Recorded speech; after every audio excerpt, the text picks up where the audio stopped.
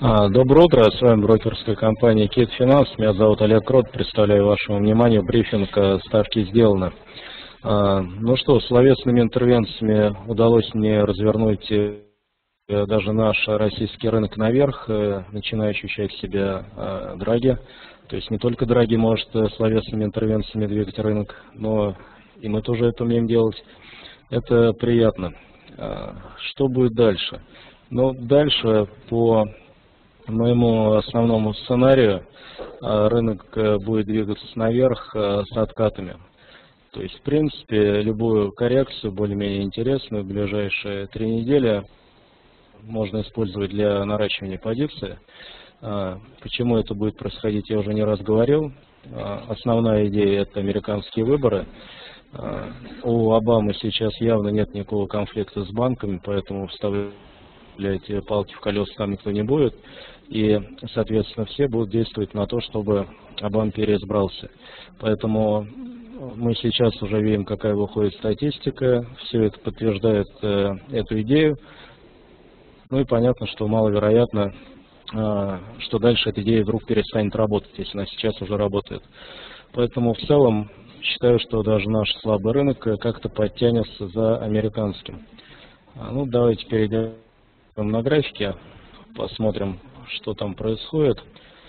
Начнем, как всегда, с S&P, который вышел к нашей краткосрочной цели, о которой пару дней назад говорили.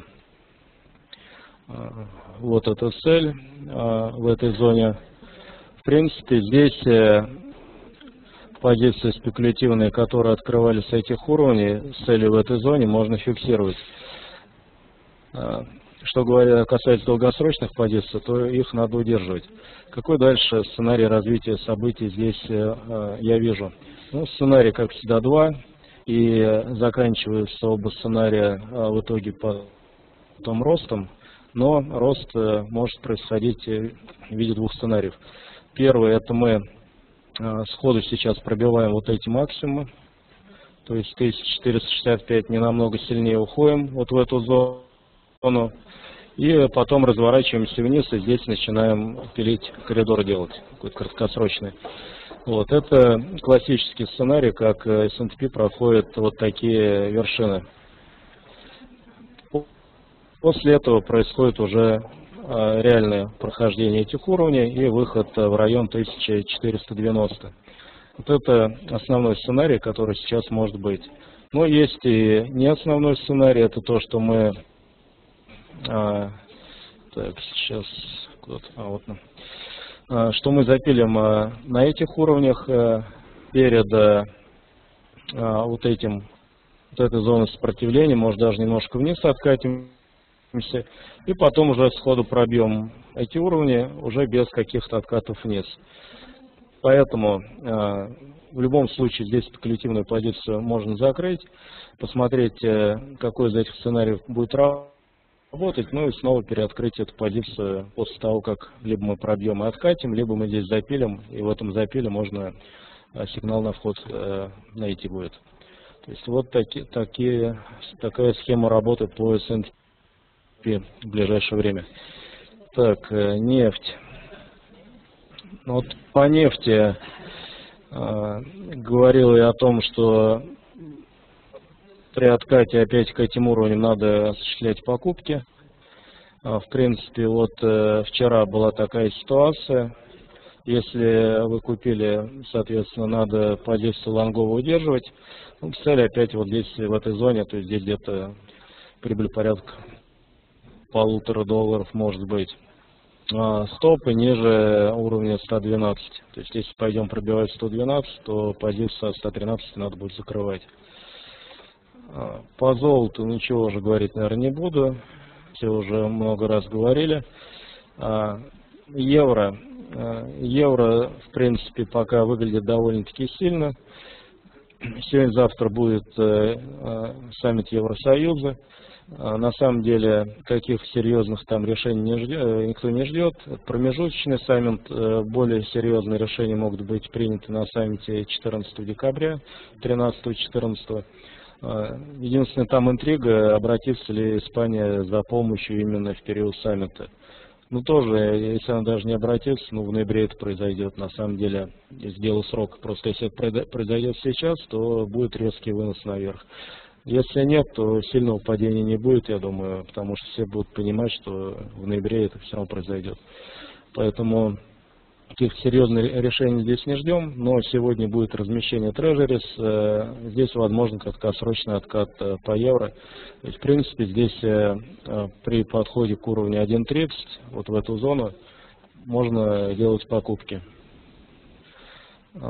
Так, ну и наш рынок. По нашему рынку, как вы видите, все очень красиво произошло. В принципе, вот на этом баре уже стало ясно, что отката вниз не будет, уровень прошли, прошли на хороших объемах. Вот. И э, наши позиции, которые мы частично открывали, они э, в безопасности. Вот. Что касается новых позиций, тоже мы вчера добавлялись, я сейчас расскажу где, ну как планировали, тоже я об этом говорил. Э, что э, жду дальше? Думаю, что будет движение наверх, но движение наверх не будет таким э, резким, как вот э, были вот эти моменты. Движение будет, э, будет, конечно, участок резкий, но в целом движение наверх сейчас будет с откатами.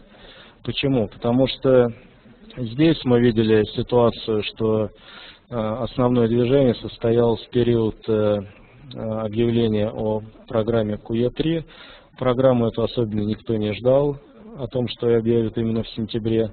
Поэтому вынесли шарты. Ну и понятно, что движение было очень резким.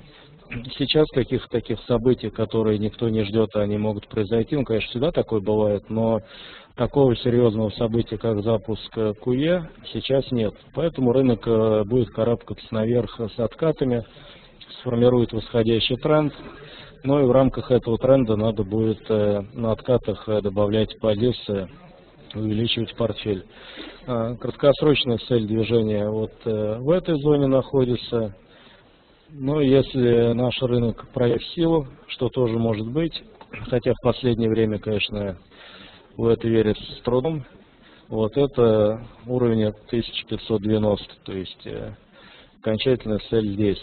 здесь тоже надо смотреть по времени, то есть, э, если к началу ноября мы к этим уровням не будем приближаться, в начале ноября, то уже потом, после американских выборов, э, больше вероятность уже будет снижения, чем какого-то серьезного роста.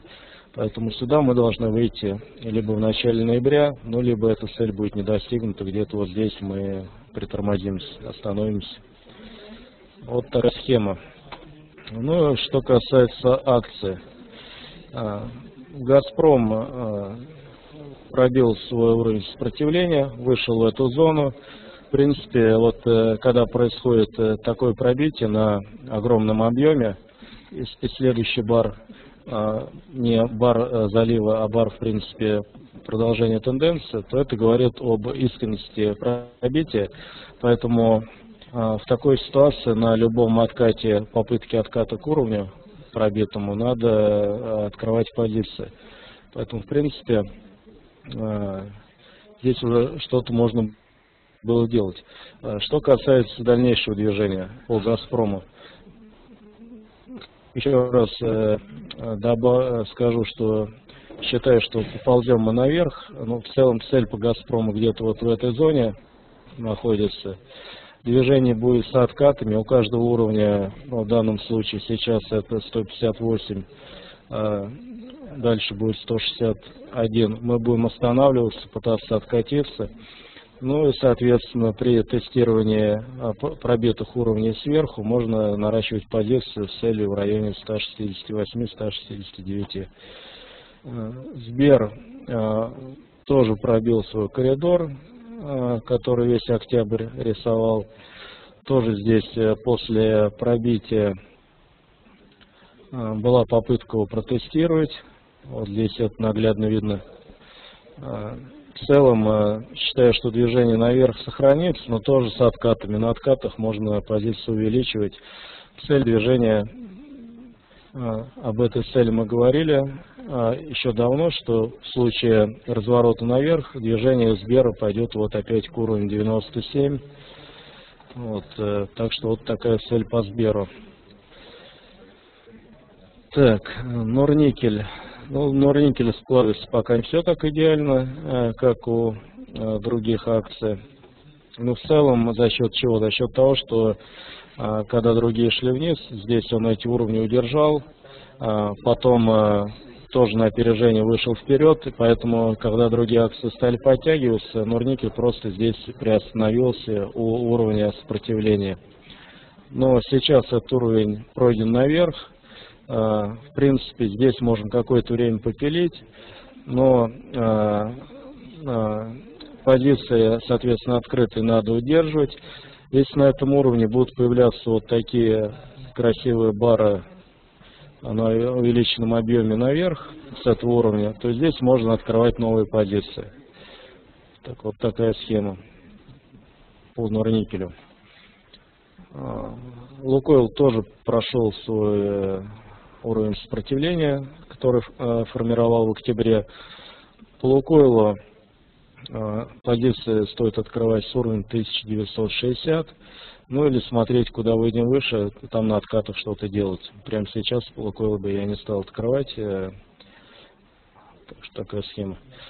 Роснефть тоже проходит с уровень сопротивления 213, э, но с Роснефтью э, на фоне информации вот по объединению, по покупке ТНК, ситуация складывается такая неоднозначная. И рейтинговые агентства уже говорят о том, что рейтинг может быть понижен, и, э, соответственно, сделка там завышена. В общем, негативная информация идет. В то же время акции на это особенно не реагируют. По технике здесь классическое пробитие уровня 213-214. То есть здесь можно тоже открывать лонговые позиции, а стопы стопы довольно-таки большие, ниже уровня 210 надо стопы выставлять.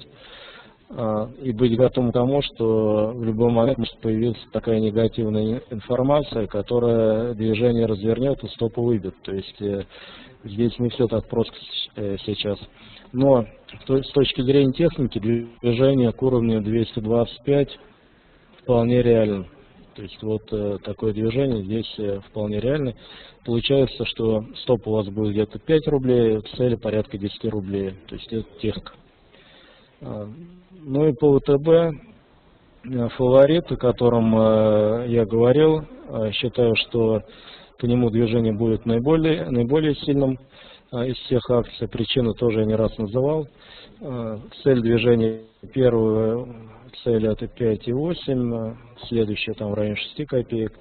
То есть примерно вот такие э, цели движения. Э, при пробитии 5,5 говорили о том, что позиции открытые с этих уровней будем увеличивать. Э, поэтому это мы и делали. Что дальше? Дальше позиции надо удерживать. Цели я уже обозначил. Стопы изначально были ниже 5 копеек. Сейчас стопы можно передвинуть вот под эти уровни а, ниже 5.35 вот такая схема с ВТБ. Так ну и фьючерс РТС. По фьючерсу РТС тоже если все неплохо складывается а, цель движения этого а, в районе 160 находится по моему мнению. Другое дело что движение не будет таким как это было в сентябре октябре, таким резким, я считаю. Почему это будет происходить, я уже сказал. Слишком много здесь было шартов, и люди, э, трейдеры не ожидали э, запуска программы QE3. Поэтому за счет выноса шартов такое резкое движение. Сейчас движение будет идти с откатами. Э, тоже у каждого уровня будем останавливаться. Яркий наглядный пример уровень 151,5. Э, причем самое интересное, что остановка произошла в тот момент, когда S&P пробивал локальные хаи, у нас просто перестали покупать, ну и, соответственно, дали э, людям, верящим э, в откат от уровней, привыкшим шортить от любого уровня, открыть шарты. Кто-то здесь э, свои прикрыл, у кого там были, были То есть э, за все время вот этот диапазон торговли э, трейдеры привыкли на каждом уровне фиксировать прибыль, э, если она есть, ну и, соответственно, открывать обратную позицию. Что здесь и произошло? Ну, а сейчас уровень пытаются пробить, но тоже не факт, что его пробьем с первого раза. Дальше, если уровень пробивается, то есть выходим мы в зону 154, откуда отсюда то легко можем увидеть откат, откат опять к уровню 152. Поэтому считаю, что тренд будет идти вот так вот э, зигзагообразным движением э, э, к уровню 160. Поэтому лонговые позиции, если открывали э, с этих уровней при 149 прохождениях, надо удерживать. А стоп ниже 148. Э, ну и, соответственно, при каждом пробое нового уровня отката к нему увеличивать позицию пока не дойдем до 160. Ну и, соответственно, этот сценарий отменяется, если мы будем проходить 148 вниз, там уже опять э, будет сценарий бокового тренда, вот, но пока сценарий не рассматриваем.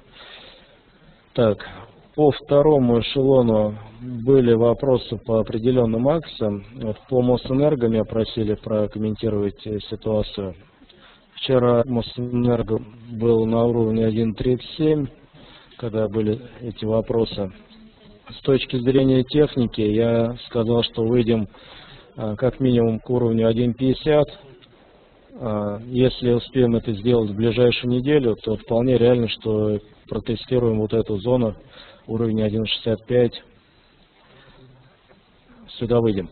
А, ну почему? С точки зрения техники пробили наклонный тренд, протестировали Э, тренд горизонтальный. Э, потом вот по стахастику, я хотя редко смотрю на индикаторы, но бывают красивые картинки, когда появляется выход э, медленной линии выше 50, потом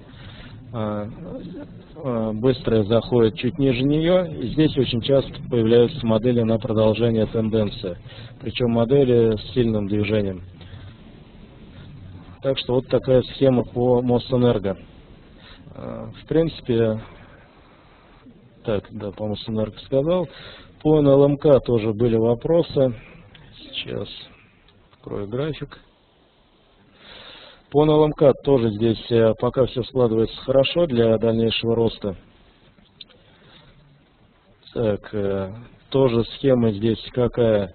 Пробит уровень оттестирован. В принципе, на недельных данных все очень красиво. По часовым данным тоже говорили мы последний раз о чем? О том, что если вот эту зону 62,5 пройдем наверх и оттестируем, то надо делать покупки. Вот как раз такая схема произошла. А, ну и, соответственно, ползет ЛМК наверх за рынком. А, какие цели? Ну, довольно-таки серьезный уровень 65,5. А, дальше посмотрим. Так, вопрос еще задали, сейчас я... Э, Олег, выложите, пожалуйста, сегодняшний брифинг на YouTube. Э, ну, на самом деле, мы каждый брифинг на YouTube выкладываем. Все наши брифинги там э, уже за период больше года. Начали мы проводить свои наши брифинги в сентябре 2011 и все брифинги там есть. Так что можете смотреть, все у нас выложено. А, по рублю-доллару картинку сейчас покажу тоже. А, так, рубль. Ну, тоже ничего не изменилось, ожидают дальнейшего укрепления рубля, тем более сейчас э, приближается налоговый период. Э, с учетом этого понятно, что шансов э, у э, доллара не так много. Э, поэтому в данном случае думаю, что рубль, рубль будет укрепляться. Сейчас э, последняя вот преграда это уровень, э, где мы сейчас находимся. Вот. Но дальше вполне реально пройти к 30,5 к этой зоне. Так что до э, начала ноября, ноября ожидаю здесь укрепления, но с откатами. Вот очередной откат мы здесь видели. Откат этот не вышел даже выше уровня 31.10. А, какой-то разворот наверх э, реально может произойти, но это я вчера говорил, если будем проходить наверх вот зону 31.250. А так просто вот будет такое фракта... снижение э, формирования фракталов, э, снижение доллара. А, так, ну вот все вроде рассказал. Спасибо за внимание. До свидания, удачных трейдов. До завтра.